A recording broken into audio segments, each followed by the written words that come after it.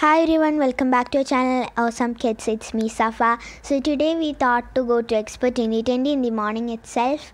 We saw in the news that there was so much program in Expo 2020 for the new year.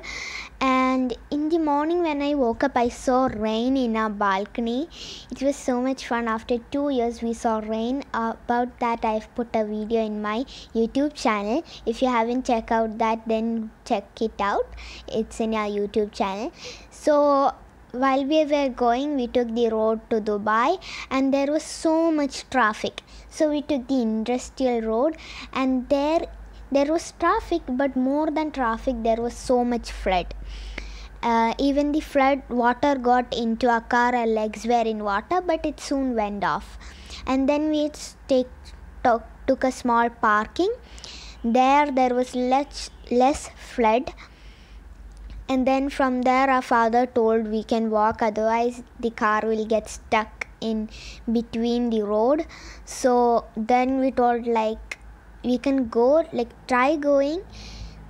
Uh, there'll be flood but let's try in slow speed so we like tried going. For some reason the car didn't get stuck in the water. And then we went and we reached home.